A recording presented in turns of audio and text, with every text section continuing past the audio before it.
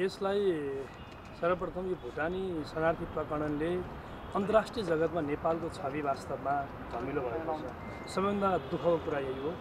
राजनीति गर्ने जनताबाट म्यान्डेट लिने सांसद हुने त्यसपछि मन्त्री हुन मरिहत्ते गर्ने र मन्त्री भएपछि यस्ता खालका गैर कानुनी देशलाई ठग्ने जनताको आँखामाथि छारो हाल्ने र जनताले दिएको म्यान्डेटमाथि धोका दिने यस्तो दुष्कर्म गर्ने जो सुकैलाई पनि कडाभन्दा कडा कारवाही गरिनुपर्छ प्रचलित कानुन बमोजिम सजायको दायरामा ल्याउनुपर्छ। एउटा व्यक्तिको विषय भएन जोसुकै अनुसन्धानको प्रक्रियामा रहेका र भोलि अनुसन्धानले प्रमाणित दोषी प्रमाणित गरेको अवस्थामा कानुन बमोजिमका प्रचलित कानुनले दिएको सजाय सबैले भोग्नुपर्छ र अपराधीको र अपराध गर्नेहरूको कानुन विरुद्धको गतिविधि गर्नेहरू कुनै पनि पार्टीको हुनु होइन पार्टीको हुँदैनन् र कुनै पनि पार्टीले संरक्षण गर्ने कुरा त्यो हुँदै हुँदैन।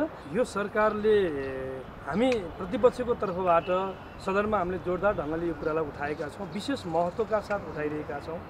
हामीले के भनिरहेका छौँ भने अपराधीको कुनै जात हुँदैन धर्म हुँदैन उसको लिङ्ग हुँदैन उसको कुनै पार्टी हुँदैन। कानुनले दोषी करार गरे बमोजिम उसलाई कारवाही गर्नुपर्छ। त्यस बमोजिम नेकपा एमालेको तर्फबाट हामीसँग जोडेका कतिपय मान्यजीहरूको विषय रह्यो।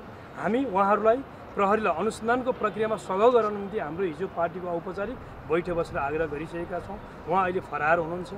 सर अनुसन्धानको प्रक्रियामा उहाँले सहयोग गरिरहनु भएको छैन। उहाँले सहयोग गर्नुपर्छ सम्पर्कमा आउनुपर्छ। त्यसै गरी मैले हामीसँग जोडेको मात्रै होइन घटनामा जोडिएका जो कोही उन्मुक्ति पाउनु हुँदैन उन्मुक्ति दिने आशयबाट सत्ताको राप्ता पनि जोडिनु हुँदैन। निष्पक्ष ढङ्गबाट अनुसन्धान गरिनुपर्छ। नेकपा एमालेको यो माग छ। यो माग आम रूपमा पनि भनेका छौँ पार्टीले संस्थागत ढङ्गबाट पनि भनेका छौँ र संसदबाट पनि यो कुरा उठाइरहेका छौँ। त्यसकारण यो विषयलाई निर्ममताका साथ छानबिन गरेर नेपालमा भ्रष्टाचारको कुनै पनि प्रक्रियामा अगाडि बढ्नका लागि कोही कसैले पनि आँट नगरून् भन्नका लागि एउटा महत्त्वपूर्ण एउटा नजिर स्थापित हुने गरी यो प्रक्रिया अगाडि बढोस्। यो प्रक्रिया सँगसँगै हामीले अर्को पनि आग्रह गरेका छौँ। अन्य कयौँ घटनाहरू पनि हिजो विषयवस्तु असरल उठेका छन्। उठेका सबै वाइडवडी काण्डको विषय छ। ललिता निवासको घटना छ। क्यान्टोनमेन्ट ठिक छ। यतिको छ ओम्नीको छ। बालुवाटारको ललिता निवास काण्ड छ। क्यान्टोनमेन्ट विषय यी सबै विषय एकपछि अर्को छानबिन गरी दोषी उप कारवाहीको दायरामा ल्याउँदा नेपालको राजनीति शुद्धतर्फ जान्छ। राजनीतिप्रति आज जनताको भरोसा टुट्न थालेको छ। नेताहरूले बदमासी गर्छन् कि भन्ने एक खालको भाष्य स्थापित हुन थाल्ने खतरा एकपछि अर्को मन्त्री भएकाहरू सांसद भएकाहरू जसरी तानिएको छ यसले वास्तवमा नेपाली जनताले राजनीतिलाई जुन ढङ्गले बुझेका थिए त्योभन्दा बाहिर जे भएको छ यसले हामीलाई दुःख दुखित तुल्याएको छ र छानबिन जरासम्म पुग्नुपर्छ। गहिराइसम्म पुगेर अपराधीहरू नछुटुन् भन्नका लागि राज्यले निष्पक्ष यसमा निष्पक्षता चाहिन्छ। पारदर्शिता हुनुपर्छ यो हाम्रो आग्रह एकदम तपाईँले ठिकै प्रश्न भन्नुभयो। यो बजारमा यस्तो प्रश्न पनि उठेको छ। नेकपा एमाले बजारमा उठेकै प्रश्नका आधारमा आफ्ना गतिविधि निर्णयहरू गर्ने कुरा गर्दैन। किन? हामी एउटा रित पुर्याउँछौँ। म तपाईँलाई भन्न चाहन्छु अङ्ग पुर्याएर अगाडि बढ्छौँ। राष्ट्रिय स्वतन्त्र पार्टीले एउ- एउटा मानिएको उहाँको नेताको सन्दर्भमा कारवाही गर्नुभयो अर्को कोही व्यक्तिका विषयमा सिफारिस गर्नुभयो। सर्वोच्च अदालतले अर्को आदेश गरिराखेका छ तत्काल नियुक्ति प्रक्रिया अगाडि नबढाऊ भनेर एउटा ढङ्गले गइरहेको छ। हामी एउटा रित अङ्ग पुर्याएर यो विषयलाई अगाडि बढाउँछौँ र हामीले कानुनलाई सबै हिसाबले सघाउ पुर्याउँछौँ र हाम्रो पार्टीले उहाँ हामीले अहिले कुनै नियमित गतिविधिमा उहाँ पार्टीमा सम्पर्क हुनुहुन्न। त्यसकारण कानुन बमोजिम प्रक्रिया अगाडि बढ्दाखेरि किनभने अहिले आरोपित हुनुहुन्छ। आरोपित भएकै आधारमा उहाँलाई दोषी भन्न मिल्दैन। अनुसन्धानको प्रक्रियामा प्रहरीले हिरासतमा राखेका राखेकाहरू सबै अभियुक्त होइनन्। हामीले त्यस हिसाबले पनि जोड्न हुँदैन किनभने अनुसन्धानको प्रक्रिया हुनुहुन्छ भोलि निर्दोष हुन सक्नुहुन्छ। निर्दोष हुँ भन्ने कुराको प्रमाणको भार पुर्याउने दायित्व सम्बन्धित व्यक्तिहरूलाई छ। त्यो उहाँहरूले गर्नुपर्छ।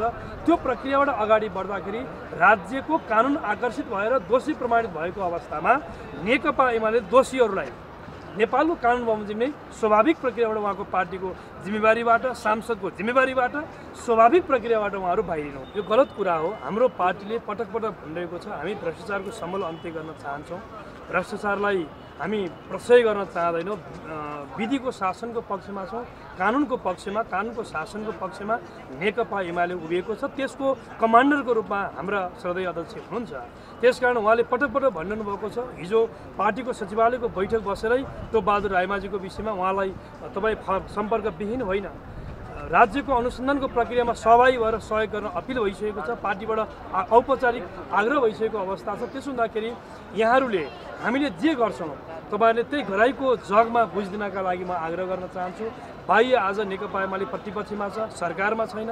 राज्यको मेकानिजमलाई परिचालन गरेर फरार भएका व्यक्तिहरूलाई त तत्काल कहाँ के कसो हुनुहुन्छ भन्ने कुरा नियन्त्रण गर्ने कानुनको कठघरामा ल्याउने दायित्व त सरकार पक्षको हो।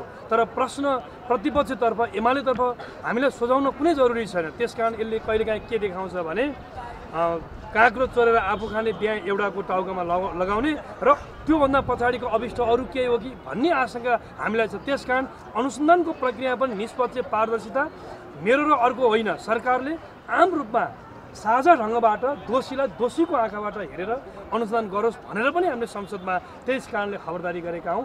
एमाले यो प्रक्रियामा निर्ममताका साथ सबै खालको भ्रष्टाचारका विषयहरूमा निर्ममताका साथ दोषीलाई उन्मुक्ति दिनु हुँदैन कानुनको कठघरामा ल्याउनुपर्छ।